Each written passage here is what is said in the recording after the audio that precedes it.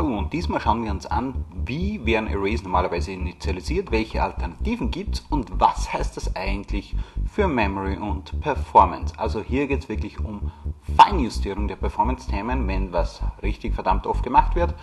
Und ja, wir schauen uns das wieder an mit dem Benchmark.net. Also wenn es interessiert, dranbleiben.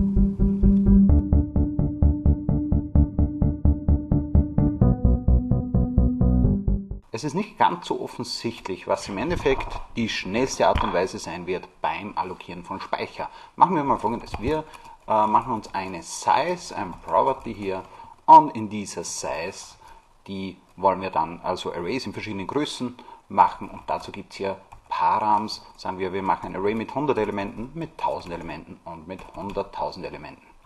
Und das wollen wir uns anschauen. Also im Benchmark, den führt er jetzt aus, einmal für 100, einmal für 1000, einmal für 100.000 Elemente. Und wir machen eine Methode, die das klassische New, so wie man es im Allgemeinen lernt, einfach mal macht. Also int array data ist gleich new int array von size. Dann machen wir als nächstes einen allocate. Das ist ein Benchmark. Auch das hier herum, das new ist ein Benchmark. So, wir machen hier int array ist gleich, wir lassen den garbage collector allocate array machen. Ja, wir sagen den garbage collector, wir hätten gern ein Array mit der entsprechenden Größe und ähm, dann bekommen wir auch ein initialisiertes Array. Es gibt aber auch eine, eine andere Art und Weise, allocate uninitialized. Int array data ist gleich gc.allocate uninitialized array auch mit der Size. So, dieses uninitialized heißt, gib mir den aktuell freien Speicher, wo das eben Platz hat. Ich werde die Werte dann schon beschreiben. Ja, hier bekomme ich das Array auch initialisiert mit lauter, äh, immer mit einem Standardwert, also in dem Fall mit lauter Nullen. Und bei New, ja, kennen wir auch, dieses Array hat dann die entsprechende Größe und überall das Null drinnen. Also den Wert Null drinnen. Es gibt aber auch die Version, wenn ich nicht konkret ein Array verwenden muss, sondern einen Span verwenden kann. Ja, machen wir einen Test für Span. Benchmark. Dann kann ich auch sagen, okay, allokiere mir das entsprechend. Data ist gleich auf den Stack, Stack Alloc. And Size. So, und diesen Benchmark, den führen wir jetzt mal aus. Ja, wir haben hier diesen im Program says uh, mit Running, Benchmark Runner Run und jetzt die Klasse Array Performance.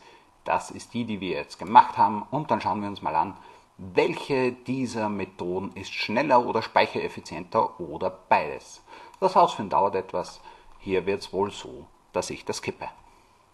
Ach ja, war schon wieder Blödsinn. Nicht vergessen, wenn wir Performance messen, Stop Debugging, wenn wir Performance messen, unbedingt auf Release kompilieren und Debug Start without Debugging.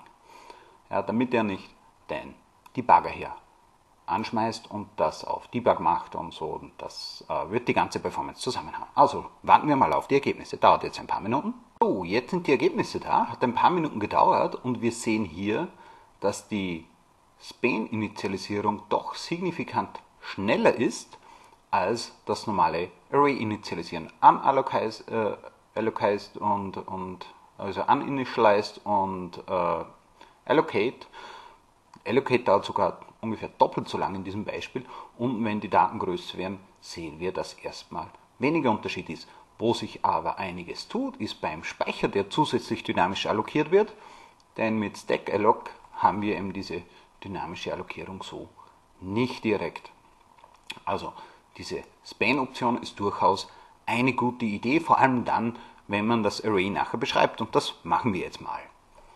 Ja, wir gehen hier wieder rein, wir verwenden das Array auch mal und sagen, okay, vor id gleich 0, i kleiner data length, i++ und schreiben einfach an die Stelle i den Wert i rein. So, machen das nochmal bei allen, damit natürlich der Code gleich ist und wir lassen das wieder mal laufen. Debug Start without debugging.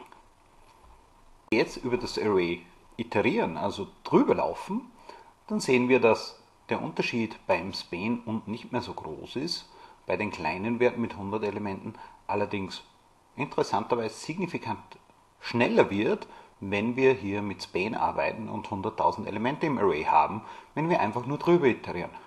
Was wir natürlich gleich haben, ist das Thema, wie viel Speicher allokiert wird. Also das Arbeiten mit Span und Stack-Alloc macht durchaus Sinn. Häufig ist es ja so, dass man irgendwelche Werte hat, die man dann in das neue Array reinkopieren will. Also habe ich jetzt mal folgendes gemacht. Ich habe hier ein Array Existing Data, äh, globales Setup, dass das mal initialisiert wird vom äh, benchmark.net und dann habe ich die Methoden kopiert. Also die new geht einfach Element für Element durch und, und setzt den Wert. Bei new copy, also alle die copy heißen, wird das Array entsprechend da rein kopiert. Und gleiches bei allocate, allocate copy, bei allocate uninitialized, äh, allocate uninitialized copy, äh, beziehungsweise bei span können wir nicht einfach so kopieren, aber, oder auch doch wieder, aber nicht mit array copy, sondern mit array copy to und dann in den span rein. Und dann schauen wir uns wieder mal an, was heißt denn das vom Ergebnis? Ich habe schon mal laufen lassen und hier sieht man im Endeffekt, wenn man Element für Element durchgeht, dauert es ungefähr immer etwas, immer ungefähr doppelt so lange. Also New und New Copy von 85 Nanosekunden zu 37 Nanosekunden. Ähm, allocate, Allocate Copy. Ja, ähm, beim Span und Span Copy ist es sogar noch, ja, noch viel mehr. Wir sehen es auch unten bei den größeren Daten.